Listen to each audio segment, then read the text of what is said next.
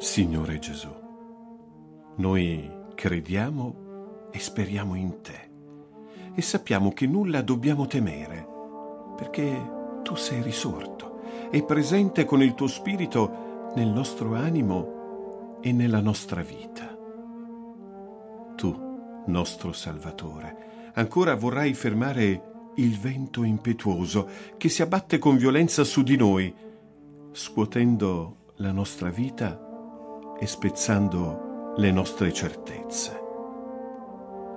Quanto dolore ci dà vedere sui volti dei nostri figli e nipoti la tristezza, l'angoscia, il disorientamento e la confusione, perché la luce sembra eclissata e il cuore fatica ad aprirsi ad un'alba di speranza.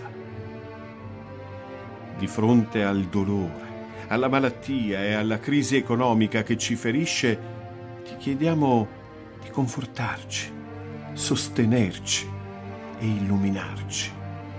I momenti di incertezza scatenano sofferenza, disperazione, paura, ma tu sei con noi sempre, anche se appari assopito sulla barca della nostra fragile vita.